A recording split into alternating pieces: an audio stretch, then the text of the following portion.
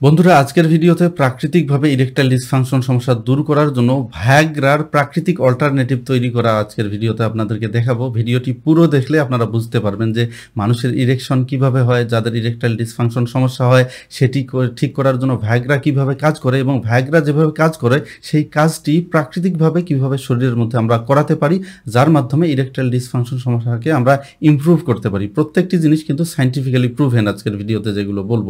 মূলত সুস্থ স্বাভাবিক মানুষ যখন ফিজিক্যালি এক্সাইটেড হয়, তার তখন মস্তিষ্ক এক্সাইটেড হয় এবং তার পেনিজের মধ্যে ব্লাড সার্কুলেশন বৃদ্ধি পায় এবং পেনিজের মধ্যে যখন ব্লাড সার্কুলেশন বৃদ্ধি পায়, তখন তার পেনিজ শক্ত হয়ে যায় এবং ইরেকশন হয়। কিন্তু যখন কোনো ব্যক্তি অসুস্থ হয়ে যায়, যখন কারও ইরেকটাইল ডিসফাংশন সমস্যার সৃষ্টি হয়, তখন তার ইরেকশন কিন্তু সঠিকভাবে হয় না। তার কারণ হচ্ছে তার পেনিজের মধ্যে ব্লাড সার্কুলেশন সঠিকভাবে হয় না। কিন্তু যখন সেই ব্যক্তি ভ্যাগ্রা জাতীয় ওষুধ খান, তখন এই ভ্যাগ্রা জাতীয় ওষুধগুলো তার শরীরের মধ্যে নাইট্রিক অক্সাইডের পরিমাণ বৃদ্ধি করে এবং এই নাইট্রিক অক্সাইড তার পেনিজের মধ্যে ব্লাড সার্কুলেশন বৃদ্ধি করার জন্য সহায়তা করে। সেটি কীভাবে করে?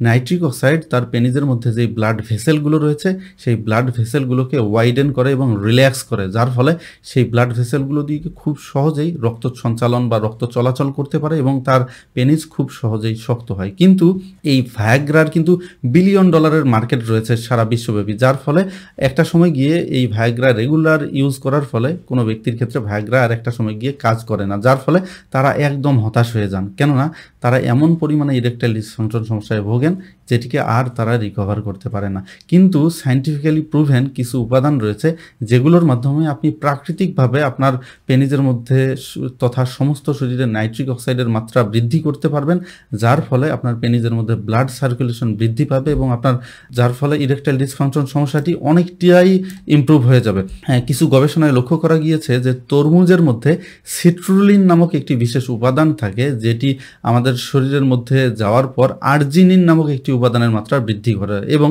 এই আর্জিনিন আমাদের শরীরে নাইট্রিক অক্সাইডের পরিমাণ বৃদ্ধি করতে সহায়তা করে, যেটি আমাদের ইরেকশন অথবা পেনিস শক্ত করার জন্য সহায়ক ভূমিকা পালন করে। এবং আরেকটি মজার তথ্য আপনাদেরকে দেব, সেটি হচ্ছে যে তরমুজের যেই ভেতরের অংশটুকু আমরা খাই, সেটির মধ্যে যে পরিমাণে সিট্রুলিন থাকে তার থেকেও বেশি পরিমাণে সিট্রুলিন থাকে তরমুজের ছালের মধ্যে। কাজেই তরমুজ খাওয়ার পাশাপাশি এর ছাল খাওয়ার চেষ্টা করবেন।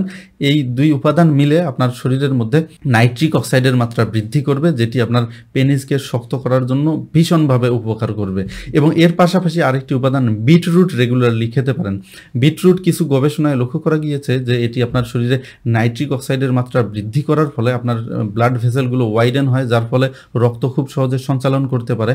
যার ফলে আপনার ইরেকশন খুব সহজেই হয় এবং আরও কিছু গবেষণায় লক্ষ্য করা যাচ্ছে যে বিটরুট আপনার ব্লাড প্রেশারকে নিয়ন্ত্রণেও সহায়ক ভূমিকা পালন করে। অনেকেই দেখা যায় দীর্ঘদিন যাবৎ হাই ব্লাড প্রেশার সমস্যায় ভোগার ফলে তারা কিন্তু ইরেকটাইল ডিসফাংশন সমস্যায় একটা সময় গিয়ে ভোগেন এবং তাদের ইরেকশন সঠিকভাবে হয় না সেক্সুয়াল ডিসফাংশন হয়, নানাবিধ জটিলতার সৃষ্টি হয়। কিন্তু মজার বিষয় হচ্ছে বিটরুট খেলে এটি এটি প্রাকৃতিকভাবেই আপনার ব্লাড প্রেশারকে নিয়ন্ত্রণ করতে সহায়তা করবে। এর পাশাপাশি আপনার পেনিস শক্ত করার জন্য মারাত্মকভাবে উপকারিতা দেবে। এবং আরেকটি উপাদান, সেটি হচ্ছে বেদানা। বেদানার মধ্যে কিন্তু শুধুমাত্র নাইট্রিক অক্সাইড বৃদ্ধি করার উপাদান নয়, এছাড়াও আরও অনেক উপকারী উপাদান রয়েছে যে, যেটি একজন পুরুষের সেক্সুয়াল ফাংশনকে ইম্প্রুভ করার জন্য সহায়ক। বেদানার মধ্যে এমন কিছু উপাদান রয়েছে যেটি আপনার টেস্টোস্টেরন হরমোন যেটি পুরুষের সেক্স হরমোন এটির মাত্রা বৃদ্ধিতে সহায়তা করে এবং যাদের শরীরে টেস্টোস্টেরনের মাত্রা কম, তাদেরও কিন্তু একটা সময় গিয়ে ইরেকটাইল ডিসফাংশন সমস্যা হতে পারে। কাজেই আপনি যদি বেদানা খাওয়ার মাধ্যমে টেস্টোস্টেরনের মাত্রা বৃদ্ধি করতে পারেন, এটিও আপনার ইরেকটাইল ডিসফাংশনকে ইমপ্রুভ করতে সহায়তা করবে এবং এর পাশাপাশি বেদানার মধ্যে এমন কিছু পলিফেনলস থাকে, যেটি আপনার হার্ট তারপর আপনার মস্তিষ্কের মধ্যে রক্ত সঞ্চালন বৃদ্ধি করার জন্য খুবই সহায়ক ভূমিকা পালন করে। তো আমরা বুঝলাম যে বেদানাও যদি রেগুলারলি খাই, এটি আমাদের শরীরে নাইট্রিক অক্সাইডের মাত্রা বৃদ্ধি করবে টেস্টোস্টেরন বৃদ্ধি করবে, আমাদের ব্রেইন আমাদের হার্টের মধ্যে ব্লাড সার্কুলেশন বৃদ্ধিতে সহায়ক ভূমিকা পালন করবে। এবং আরেকটি উপাদান, সেটি হচ্ছে অশ্বগন্ধা। এটি গবেষণা করা হয়েছিল চল্লিশ থেকে সত্তর বছর বয়স্ক পুরুষদের উপর তেতাল্লিশ জন পুরুষকে বেছে নেওয়া হয়েছিল এবং তাদেরকে আট সপ্তাহ যাবৎ অশ্বগন্ধার সাপ্লিমেন্ট দেয়া হয় এবং আট সপ্তাহ পর লক্ষ্য করা যায় তাদের শরীরে ডিএইচইএএস নামক হরমোনের মাত্রা আঠারো শতাংশ বৃদ্ধি পায় এবং এই ডিএইচইএস যেই হরমোনটি রয়েছে, এটির মাধ্যমেই মূলত টেস্টোস্টেরন হরমোনের প্রোডাকশন হয়। কাজেই আপনার শরীরে যদি অশ্বগন্ধা রেগুলারলি খাওয়ার পর এই ডিএইচইএস হরমোনের মাত্রা বৃদ্ধি পায়, এটি আপনার টেস্টোস্টেরন যেটি পুরুষের সেক্স হরমোন সেটি বৃদ্ধিতে সহায়তা করবে, যার ফলে আপনার ইরেকটাইল ডিসফাংশন সমস্যাটি অনেকটাই ইমপ্রুভ হয়ে যেতে শুরু করবে। তার মানে এই উপাদানগুলোকে একসাথে কীভাবে খাবেন? আমি আপনাদেরকে আজকে পরামর্শ যেটি দেব, সেটি হচ্ছে তরমুজ ছাল সহ কুচি কুচি করে কাটবেন। ছাল যেটি রয়েছে তরমুজের, এটি কিন্তু খুবই গুরুত্বপূর্ণ। ছাল এবং এর বিসি সহ সমস্ত তরমুজকে আপনি কুচি কুচি করে কাটবেন। কাটার পর এটির সাথে আপনি বিট বিটরুট একটি বা দুটি দেবেন এবং এর সাথে বেদানার অভ্যন্তরীণ যেই বীজগুলো রয়েছে সেগুলো দেবেন এবং তার সাথে আপনি অশ্বগন্ধা দুই থেকে তিন গ্রাম সমপরিমাণ দেবেন।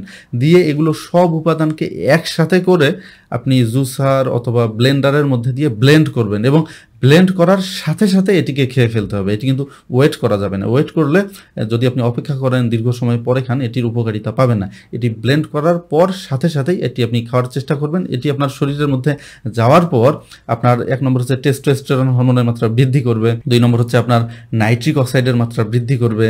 তিন নম্বর হচ্ছে আপনার সমস্ত শরীরের মধ্যে ব্লাড সার্কুলেশন ইমপ্রুভ করতে সহায়তা করবে। যার ফলে একটা সময় গিয়ে কিন্তু আপনার ইরেকটা ইরেকশন সুস্থ, স্বাভাবিক মানুষের মতো হওয়া শুরু হবে। এবং আরেকটি মজার বিষয় হচ্ছে, যারা দীর্ঘদিন যাবৎ বিভিন্ন রকমের ওষুধপত্র ট্রাই করছেন, অনেকেই দেখা যায় ভায়াগ্রা ট্রাই করেন ভায়াগ্রা কাজ করে না, আবার অন্যান্য ওষুধ ট্রাই করেন, সেগুলোও কাজ করে না। তারা কিন্তু এই ন্যাচারাল জুসটি যদি দীর্ঘদিন যাবৎ ট্রাই করেন তাদের কোনো রকমের সাইড ইফেক্ট হওয়ার সম্ভাবনা নেই। কেননা এর প্রত্যেকটি উপাদানই প্রাকৃতিক এবং এগুলো প্রত্যেকটি সাইন্টিফিক্যালি প্রুভেন কাজেই আপনি এই জিনিসগুলো মেনটেন যদি রেগুলারলি করেন, তাহলে আপনার ইরেকটাইল ডিসফাংশন অনেক সহজেই সলভ হয়ে যাবে। আরেকটি বিষয় হচ্ছে কি যে ইরেকটাইল ডিসফাংশন সমস্যাটি কিন্তু শুধুমাত্র আপনার হরমোন আপনার নাইট্রিক অক্সাইড এগুলোর সাথে জড়িত নয়, আপনার সামগ্রিক স্বাস্থ্যের সাথে জড়িত। অনেক ক্ষেত্রে অনেকের ইমোশনাল অনেক ইমব্যালেন্স থেকে যায়, অনেকের মনস্তাত্ত্বিক সমস্যা থাকে এবং এই মনস্তাত্ত্বিক সমস্যার ফলে তাদের দেখা যাচ্ছে যে শরীরবৃত্তীয় কোনো সমস্যা নেই, কিন্তু তারপরও তাদের ইরেকটাইল ডিসফাংশন সমস্যা হতে পারে।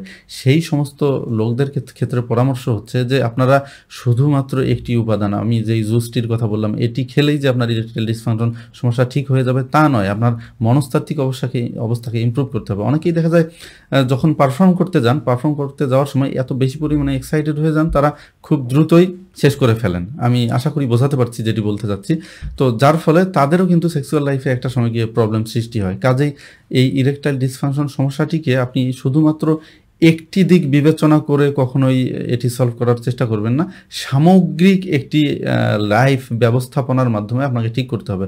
অনেকেই দেখা যায় ওভারওয়েট সমস্যায় ভুগছে। তো ওভারওয়েট সমস্যায় যে ভুগছে, তার শরীরের মধ্যে কিন্তু অলরেডি টেস্টোস্টেরন হরমোনের মাত্রা কমে যেতে শুরু করেছে। কাজেই আপনি যদি ওভারওয়েট হয়ে থাকেন, তাহলে আপনি প্রাকৃতিক যেই মেথডগুলো আমি সব সময় বলি সেইগুলো ফলো করার পাশাপাশি আপনার ওজন কমানোর চেষ্টা করবেন। এছাড়া যদি আপনার রাতের বেলা ঘুমের ডিস্টার্ব থাকে, সেটিকে ফিক্স করার চেষ্টা করবেন। কেননা কিছু সাইন্টিফিক স্টাডিতে লক্ষ্য করা গিয়েছে কোনো ব্যক্তি যদি পাঁচ ঘণ্টার কম পরিমাণে ঘুমান তার টেস্টোস্টেরন দশ থেকে পনেরো শতাংশ কমে যেতে শুরু করে। কাজেই আপনি রেগুলারলি রাতের বেলা সঠিক পরিমাণে ঘুমানোর চেষ্টা করবেন। এছাড়া অনেকেই সবসময় বসে থাকার বদ অভ্যাস রয়েছে। এটিও করবেন না। আপনি লক্ষ্য করবেন যে আপনি যখন এক্সারসাইজ করেন এক্সারসাইজ করার পর কিন্তু আপনার ইরেকশন সুস্থ, স্বাভাবিক মানুষের মতো কিছুটা ইম্প্রুভ হয়। কাজেই আপনি রেগুলারলি এক্সারসাইজটিও করার চেষ্টা করবেন। তো এই জিনিসগুলো আসলে মেনটেন করলে আপনার ইরেকটাইল ডিসফাংশন প্রাকৃতিকভাবেই একটা সময় ঠিক হয়ে যাবে এবং আপনার আর কখনোই ভাইগ্রার হয়তোবা প্রয়োজন হবে না বলে আশা করি। তো সকলেই ভালো থাকবেন সুস্থ থাকবেন। ধন্যবাদ সবাইকে।